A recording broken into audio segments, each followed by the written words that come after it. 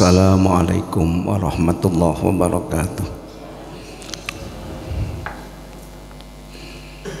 Ila hadratin Nabi Mustafa Rasulullah Mustafa Muhammad sallallahu alaihi wasallam ila diyabi wa mati wa zuriyati wa ali minan nabiyyin wa sallallahu alaihi nasabik min tabi tabi'in wa fi dhalim yaumiddin wa wa ummatina wa jaddatina إلى يوم الدين وإلى حضرة آبائنا وأمتنا وجداتنا وجد جدادنا وأجداد أجدادنا وخالاتنا وأمامنا أمتنا ومشايخنا ومسلمين جميع المسلمين والمسلمات والمؤمنين والمؤمنات الأحياء لله لنا ولهم الفاتحة أعوذ بالله من الشيطان الرجيم. بسم الله الرحمن الرحيم. الحمد لله رب العالمين. الرحمن الرحيم. مالك يوم الدين. إياك نعبد وإياك نستعين. صراط المستقيم صراط الذين أنعمت عليهم غير المغضوب عليهم ولا الضالين. الحمد لله الحمد لله رب العالمين والصلاة والسلام على أشرف الأنبياء والمرسلين سيدنا ومولانا محمد وعلى آله وصحبه أجمعين. سبحانك لا علم لنا إلا ما علمتنا إنك أنت العليم الحكيم. Allahumma nawwir qulubana binuri hidayatika kama nawwartal arda binuri syamsika abada wa 'allimna bima yanfa'una wanfa'na ya rabbi bima 'allamtana waj'al a'malana khalisatan liwajhikal karim bi rahmatika ya arhamar rahimin. Para alim ulama para hadirin hadirat jamaah salat subuh majlis Masjid Jami Nur Sifa yang saya muliakan pertama-tama marilah kita bersama memanjatkan syukur alhamdulillah kehadirat Allah Subhanahu wa taala yang telah memberikan kenikmatan kepada kita yang telah memberikan hidayah maunah sehingga kita bersama-sama pada bulan Ramadan ini bisa menghadiri Masjid Jami Nur Sifa untuk bersama-sama sholat jamaah subuh dan diteruskan dengan majelis ta'lim. Mudah-mudahan Allah subhanahu wa ta'ala memberikan kekuatan kepada kita semua. Kita bisa meningkatkan ibadah kita sesuai dengan tambahnya umur kita. Amin. Allahumma amin salawat serta salamullah mudah-mudahan disampaikan kepada baginda Rasulullah sallallahu alaihi wasallam. Para hadirin hadirat yang dimuliakan oleh Allah subhanahu wa ta'ala. Kita sekarang sudah memasuki pada hari ke delapan ya, ke sembilan sudah memasuki hari ke-9 di uh, bulan Ramadan ini mudah-mudahan kita tidak surut untuk melaksanakan mengisi hari yang sangat mulia itu. Hari-hari di bulan Ramadan ini dengan mengisi dengan ibadah. Dan semua apa yang kita lakukan semua bernilai ibadah apa pun yang kita lakukan. Maka dari itu marilah kita tata niat kita untuk melaksanakan sesuatu baik yang merupakan ritual ibadah walaupun ataupun pekerjaan biasa rutinitas. Tapi kita uh, niatkan ibadah. Dari kita mau mempersiapkan iftar mau mempersiapkan berbuka puasa dengan memasak di dapur. Atau bapak-bapak bekerja di bulan Ramadan juga mari kita niatkan ibadah. Dan mulailah pekerjaan kita itu dengan pembacaan Bismillahirrahmanirrahim. Insya Allah mulai awal sampai akhir tercatat sebagai ibadah kepada Allah Subhanahu Wa Taala. Hadirin rahimakumullah. Ah, di sini kami ingin menyampaikan masih tentang sekitar puasa yaitu ada siam layam bagi antak tasyira ala sawmi sahri ramadhan fatatruka at-tijaratah bin nawafilih mukasbit darajatil aliyati fil faradisi fatahassara idan idza nadarta ila manazil shaimina kama tanzuru ila al-kawakibi ad-dariyati. Layam bagi tidaklah sepatutnya. Antak tasilo engkau mencukupkan ala somi sahri Ramadan terhadap puasa bulan Ramadan atas puasa bulan Ramadan. Sehingga kita cukup bahwa puasa itu cukup di bulan Ramadan saja bahkan banyak macam-macam puasa. Maka tidak seharusnya kita itu menganggap bahwa poso itu naik bulan Ramadan ya. Maka fatat suka. Maka kamu akan meninggalkan atijaroh perdagangan. Bin nawafili dengan amal-amalan sunnah. Di sini mengistilahkan bahwa amal beramal itu adalah tijaroh. Imam Ghazali mengistilahkan tijaroh. Kenapa dikatakan tijaroh? Karena perdagangan. Kalau perdagangan adalah ada modal pokok dan ada juga laba. Kalau kita mengabaikan puasa-puasa yang lain hanya puasa Ramadan saja sama dengan kita itu hanya menapa itu? Hanya kita melaksanakan fardu saya saja. Ini berarti sama dengan kita mengembalikan modal pokok. Karena semua amalan perintah Allah Subhanahu wa taala itu ada dua ada fardu ada sunnah. Nah, walaupun sunnah ya perintah dari Allah subhanahu wa ta'ala tapi sunnah bisa di bisa tidak dilaksanakan seperti sekarang kita sholat lima waktu subuh, zuhur, asar, maghrib, isya itu adalah fardu maka inilah yang dikatakan modal pokok jadi kita melaksanakan sholat itu saja sudah cukup. Tanpa sholat yang lain sudah cukup.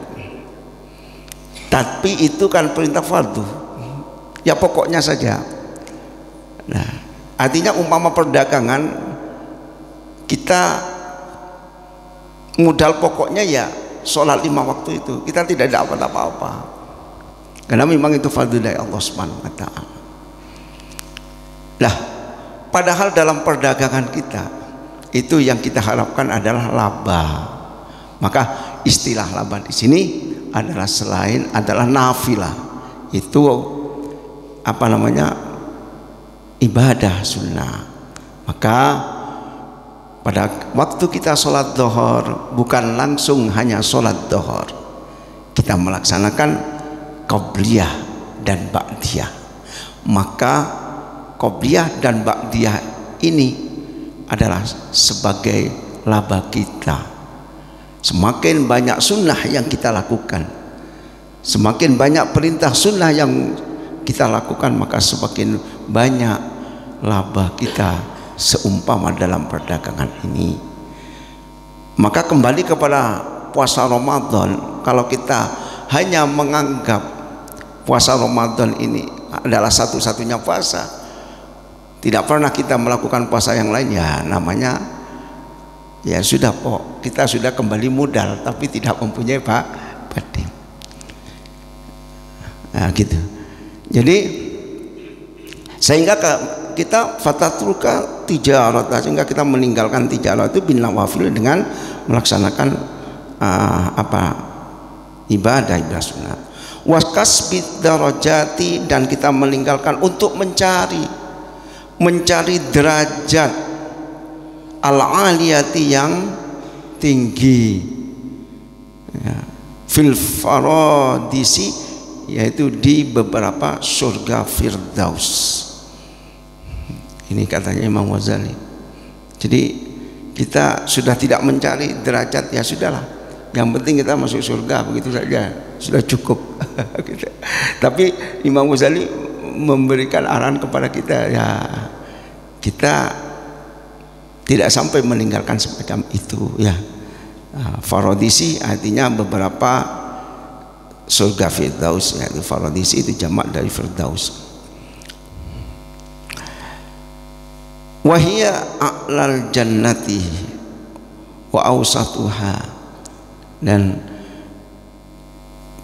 apa namanya surga Firdaus itu adalah surga yang tertinggi dan pertengahan surga Firdaus.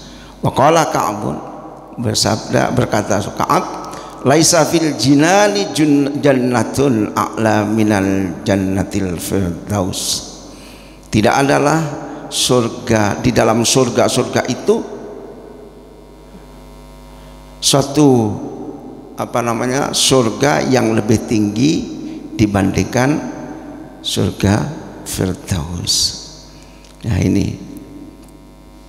Fiha al-amiruna bil ma'ruf wa nahuna 'anil munkar di dalam surga Firdaus itu dihuni oleh orang-orang yang yang me, menyuruh atau mengajak-ngajak dalam kebaikan dan mencegah dalam kemung kemungkaran itu banyak.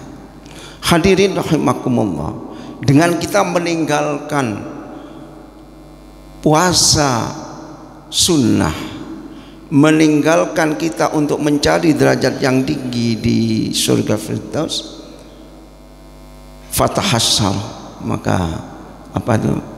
Nelongso kita nelongso. Fatahassal fatahassal nelongso. Idzan ta idza nazarta ila manazilis shaimi ketika kita melihat derajat tempat orang-orang yang ahli puasa kama nadhar kama nadharu ilal kawakibi ad-dariyati. Kama tanzur ila ilal kawakibi dariyati sebagaimana engkau melihat bintang-bintang yang menyinari. Jadi ibarat orang yang ahli sholat eh orang yang ahli puasa diibaratkan bintang-bintang yang menyinari. Begitu tinggi tempatnya.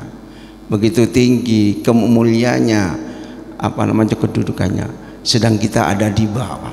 Sudah ada di surga alhamdulillah. Tapi kita mempunyai apa namanya derajat yang sangat yang rendah di apa namanya di surga. Kita hanya uh, coro wong itu kok ketun. Dulu saya itu kok tidak melaksanakan puasa-puasa sunnah. Kami berpuasa setahun itu mong puasa Ramadan saja gitu loh. Ya, kita yang kita tidak harapkan seperti itu. Wahum fi a'la para ahli soim orang yang ahli puasa adalah di tempat yang tinggi ya yaitu di surga yang tinggi hadirin rahimakumullah wa fil khabara anna fil jannati baban yuqalu lahu ar-rayyanu yadkhulu minhu shaimuna yaumal jumu'ati. La yadkhulu minhu ahadun khairuhum. Dalam satu hadis diterangkan bahwa di surga itu ada yang nama pintu yaitu yang disebut ar-rayyan pintu Ar-Rayyan itu yaitu pintu yang hanya dilewati orang-orang yang ahli puasa yaumal jumati di hari Jum Jumat. Tiap hari Jumat puasa puasa. Maka tempat dia masuk dia lewat apa masuk surga lewat di pintu Ar-Rayyan nah, hadirin rahimakumullah. Begitu apa namanya uh, pintu yang ada di surga yang dikhusus-khusus ya kepada orang-orang yang uh, orang yang berpuasa. Ada juga wafihi aidon Inna fil jannati baban yuqalu lahu ad-duha.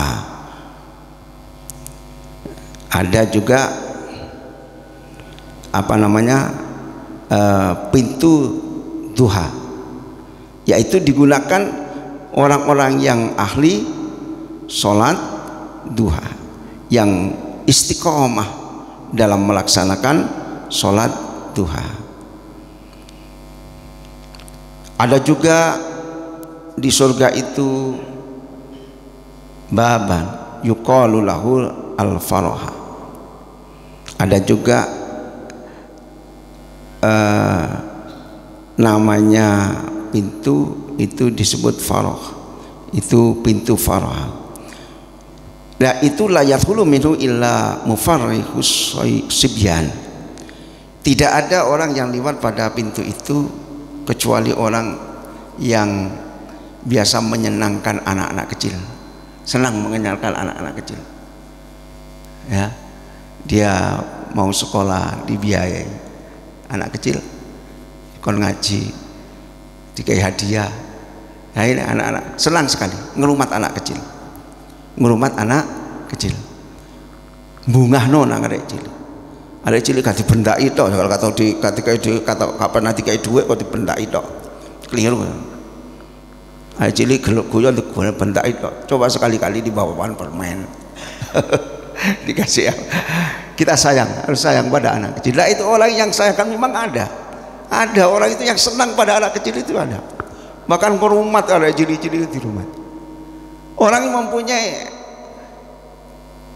etika yang semacam ini senang sekali. Ini besok-besok di surga itu punya pintu. Ya. yang pintunya disebut faroha. Nah, itu pintu itu adalah untuk orang-orang yang senang apa? Yang menyenangkan kepada anak-anak kecil. Hadirin rahimakumullah. Jadi ciri khas ciri khas yang kita miliki seperti kita itu besok-besok itu masuk kepada apa namanya pintu apa? Yang terserah kita itu yang biasa apa. Jangan-jangan kita tidak pernah ada kebaikan sehingga tidak ada pintu untuk kita. Ya. Maka ada juga orang yang karena kebaikannya banyak kepada anak kecil senang ini senang puasanya senang istiqomah berjamaahnya istiqomah semua sebab istiqomah. Maka pintu-pintu surga itu akan memanggil semua sesuai dengan ibadah yang dia lakukan. Semua itu manggil. Yang ahli duha pintu ahli duanya juga memanggil. Yang ahli puasa Senin Kemis Jumat juga memanggil. Memanggil kepada orang itu Alhamdulillah orang yang ahli kita yang kita takuti kita tidak dipanggil oleh siapa-siapa. Karena kita memang tidak ada kebaikan di dunia itu. Atau ya pas-pasan. Tidak ya tijarah kita. Itu perdagangan kita tidak ada apa tidak mempunyai laba sama sekali. Badi. Karena tidak pernah melaksanakan sunnah. Ya. Hadirin rahimakumullah. Wal ayamul fadilati allati sahadatul ahbaru bisyarafiha wa fadliha wa bijazalati sawabi fi siyamihi. Adapun waktu-waktu yang utama yang telah menyaksikan beberapa hadis Rasulullah sallallahu alaihi wasallam karena kemuliaan dan keutamaan dan keagungan pahala untuk berpuasa di hari-hari ini. Itu. Yaitu yaumu arafati satu yaumu arafah. Yaitu pada tanggal 9 puasa kecuali bagi orang yang haji. Itu juga banyak keistimewaan kemuliaan pada hari itu. Arafah. Ya janganlah kita itu walaupun ada anjuran untuk puasa Arafah kita tidak mau berpuasa. Tenang-tenang. Kenapa? Gak wajib. Justru yang sunnah ini loh yang mengantarkan kita mendekat dekat kepada Allah Subhanahu wa taala. Jadi yang mengantarkan kita taqarruban ilallah menjadi seorang takwa orang yang disenangi Allah adalah orang yang banyak melaksanakan perintah-perintah yang tidak diwajibkan tapi dilaksanakan. Orang yang para aulia itu itu mesti banyak pekerjaan apa itu amal ibadah-ibadah yang disunahkan kalau yang pokok-pokok tadi ya sudah pasti. Nah itu. Ya, baca Al-Qur'annya zikirnya siamnya qiyamul lailainya itu kan tidak diperintah oleh Allah Subhanahu wa taala tapi kan sunnah bisa ditinggalkan. Justru itu diutamakan. Karena apa? Karena perintah Allah yang sunnah itu malah uh, disungguh-sungguhkan. Karena ini membawa kemuliaan pada seorang hamba. Maka jadi kalau ada puasa puasa sunnah marilah kita laksanakan. Ibaratnya juga kita sama saja melaksanakan dengan fardu. Nah, itu anggapan kita. Hadirin rahimakumullah. Ada lagi wa yaumu asyura. Ya yaumu asyura terus ada lagi wal asrul awwali. Wal asrul awwalu min hijjati. Yaitu 10 hari pertama di bulan Zulhijjah itu ya. Termasuk Zulhijjah kalau 10 berarti yaumun nahar ya. Cuman uh, kita buka itu setelah sholat. Setelah sholat apa namanya? Sholat Zulhijjah buka. Kalau sholat Idul Fitri sebelum mangkat ke masjid itu sudah buka ya. Sudah batal membatalkan ini. Tapi kalau Zulhijjah sholat besar gitu uh, sholat korban itu bukanya mari mari melaksanakan apa itu? Sholat itu. Nah, itu ganjaran yang wake fadilahnya sudah banyak ya kalau kita tidak mengharapkan ganjaran ya tidak jadi masalah. Tapi kita mengharap yang paling bagus adalah kita mengharapkan ibtigha amardatillah. Itu mengharapkan ridho Allah subhanahu wa ta'ala. Jadi para aulia itu tidak ada. Dia beribadah kepingin saya besok masuk surga kepingin saya derajat. Jadi tidak tidak ada. Sama sekali tidak ada. Yang ada itu adalah ridhonya Allah awak diri masih gak diburu ya bi pangeran itu gak apa-apa. Yang penting oleh ridhonya Allah subhanahu wa ta'ala. Kok mau mengejar itu umpama ya? Ya umpama umpama. Dan kita itu kenikmatan yang diberikan oleh Allah yang kita miliki ini dibandingkan ibadah yang sebesar apa pun kayaknya tidak lutut. Kira mau sampai itu ambaan itu nopo sing disedot O2 masih O2 oksigen. Tumbas sama itu tidak kan setiap detik padahal itu sangat penting. Sangat penting. Kalau sampai tidak ada oksigen itu ya mati orang. Kalau bisa tidak masuk mama eh, hidungnya supet gitu loh.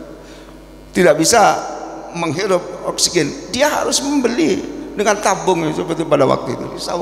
Itu satu tabung itu berapa harganya? Belum lagi masih nyewa tabung. Nah kita di mana-mana menghirup udara tanpa bawa tabung. Coba kita bayangkan. Kalau kita nyengkleng tabung di sini kemudian apa nama selangnya dimasukkan pada hidung nandi-nandi gawa itu kira-kira ya apa ya? Nah, kita namanya tafakur Pak. kita tafakur sehingga kita berterima kasih kepada Allah Subhanahu wa taala atas anugerah rahmat kasih sayang Allah kepada kita. Belum lagi hidung masuk di dengan Allah di, di dihadapkan ke bawah. Coba hidungnya dihadapkan ke atas. Ya apa lah hutan-hutan sing kate nguras ya apa? Belum lagi yang kita bisa berkedip. Kedip nih mahal itu mahal coba kita tidak bisa ketip ketip itu ibaratnya adalah irigasi.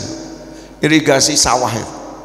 Kalau sawah itu tidak diirigasi tidak ada irigasi di sawah tidak ada pengairan maka tanaman akan mati juga. Sama mata kita tidak diirigasi tidak diairi. Kering kalau mata sudah kering ya sudah buta. Hmm. jadi iso ketip saja itu lek kon bayar sedino kon bayar sejuta lah kelem Masya Allah. Itu pemberian Allah subhanahu wa ta'ala. Dan lagi ketipnya itu pegasnya. Apa namanya? Apernya itu otomatis itu. Otomatis. Begitu kering langsung ketip dewe. Nggak usah diprogram.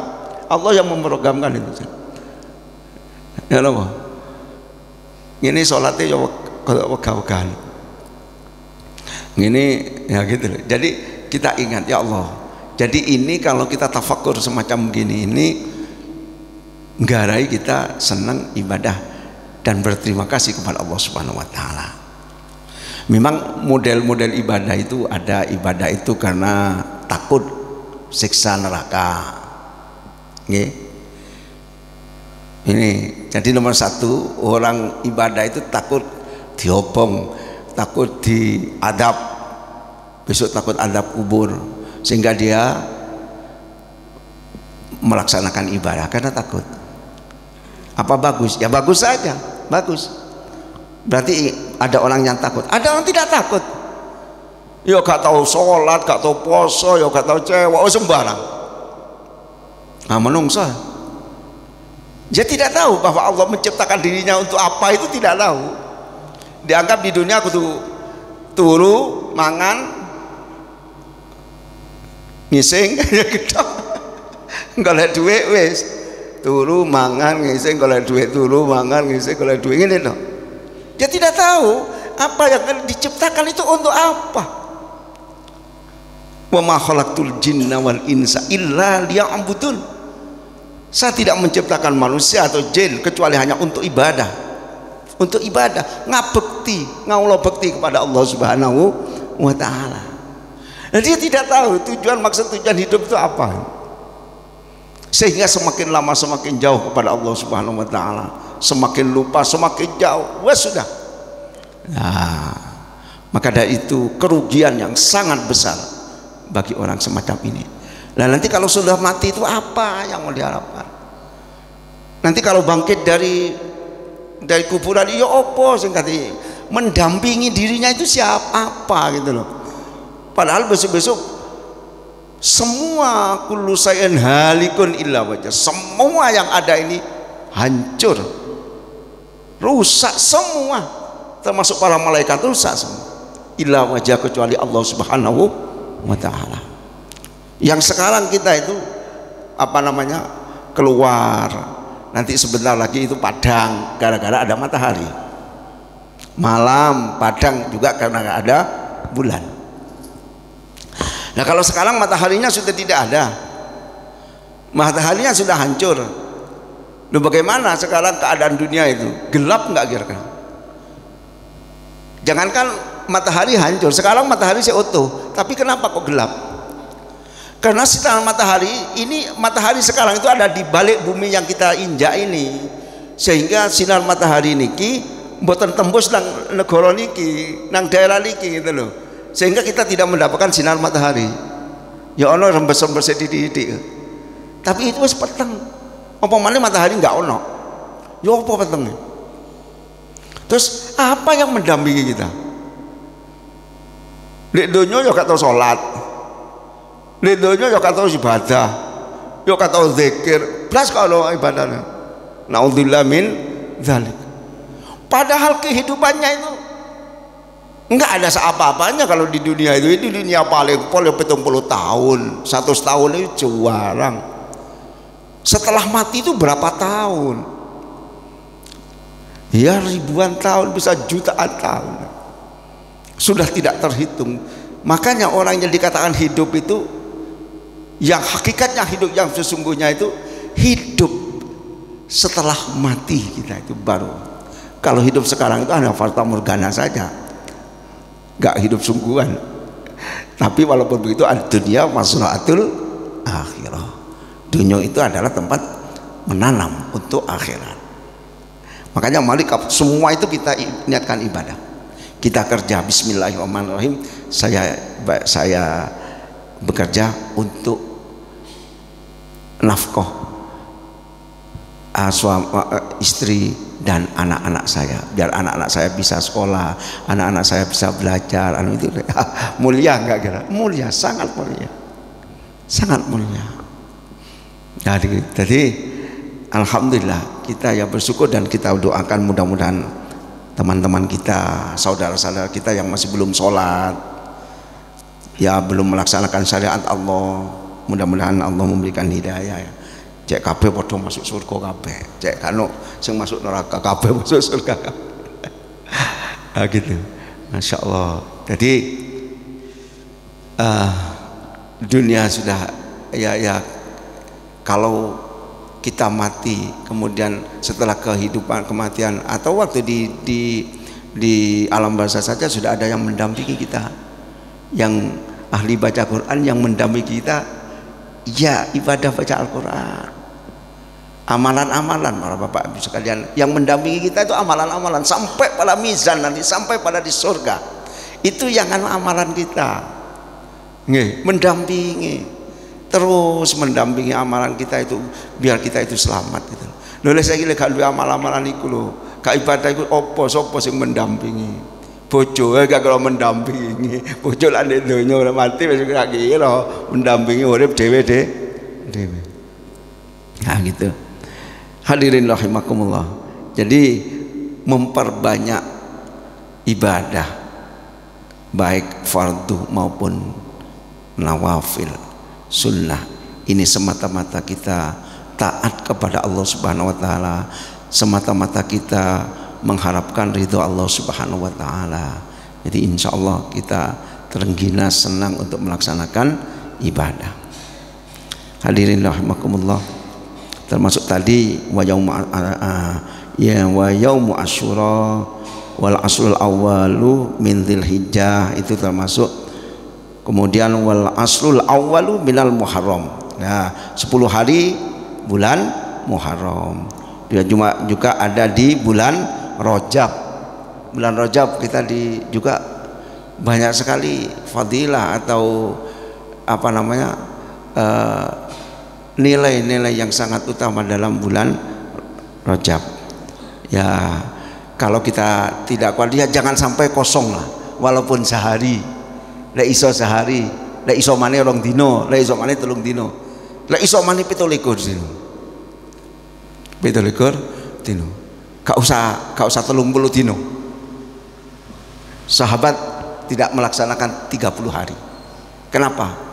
karena biar tidak menyamai Ramadan tapi lek wis biasa bentahun gak tahu leren udah jadi masalah. Itu sudah menjadi kebiasaan gitu. ada orang itu yang naun nih pokoknya gak poso itu saking yang dilarang oleh Allah subhanahu wa ta'ala saja seperti yang tasrik itu ya gak poso. Ini tok itu tok setelah itu puasa terus ya tidak apa-apa. Rojabnya 30 hari. Juga sakban sakban ini yang yang jarang kita laksanakan ya padahal sakban juga banyak termasuk banyak keutamaan. Juga wasaumul ashurul wasaumul ashuril hurumi minal fadaili dan juga uh, wa yaumul ashuril hurumi minal fadaili adapun puasa ashurul hurum itu juga banyak fadilahnya fadilahnya di sana. Wahia uh, ashurul hurum. Jadi begini Allah subhanahu wa ta'ala itu menciptakan bulan itu 12 bulan. 12 bulan. Yang 12 bulan itu dari 12 bulan itu ada yang termasuk ashurul hurum. Ada bulan-bulan yang dimuliakan oleh Allah subhanahu wa ta'ala itu ada empat. Satu yaitu Zulqa'dah. Itu puasa di Zulqa'dah juga banyak fadilahnya. Zulqa'dah ini bulan nopo biasanya? Tekepek. Bulan tekepek Nggak, tapi nggak begitu dia orang apa tekepek itu? Jadi ini wong Jawa nopo? Sawal selo ya? Selo. Damatul ngitun Zulhijjah napa selo besar. Nggih. Terus Muharram. Napa niku Muharram niku? Suro oh biasa sing di sing dianone wong iku suro karena katanya ngumpak keris. Katanya ngumpak keris. Ini sungguhnya begitu. Ya ya karena memang banyak fadilah orang percaya itu. Sampai puasa di bulan itu. Adapun apa mempertajam ilmunya juga banyak di bulan surau cet tambah kebal. Ada tapi kalau kita bukan kebal kalau ingin keridhaan Allah saja. Ya ingin kita dapat ridho dari Allah Subhanahu wa taala. Soal kebal masih gak kebal kan gak apa-apa. Nggih. Gak apa-apa wis. Tibang awak repot ambil poso ngono ya. Nah Muharram. Dan Malik keempat adalah Rojab nah ketiga ini ku runtut. Selo besar suro kemudian pisah lagi baru Rojab ini termasuk zul apa nama? Ashulul khurum hadirin rahimakumullah. Dah wahatihi fisanati dan ini termasuk Zulqa'dah, Zulhijjah, Muharram, Rajab ini adalah puasa-puasa yang disunahkan di dalam satu tahun ini. Ada juga nanti puasa yang di apa mingguan. Lek mingguan fil usbu'i dalam satu minggu. Niku apa Senin Kamis Jumat. Senin Kamis Jumat. Nah niku puasa puasa mingguan ada puasa bulanan. Puasa bulanan apa? Fi awali uh, apa? Fi awali sahri. Ada di di awal awal bulan. Ada pertengahan bulan poso di awal bulan poso di pertengahan bulan poso nah di pertengahan bulan itu ada namanya yaumul bait.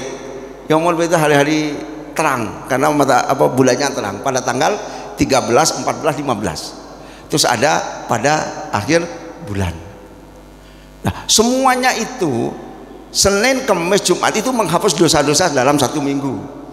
Kemudian tadi itu awal bulan pertengahan terus kemudian akhir itu untuk menghapus dosa-dosa satu satu bulan.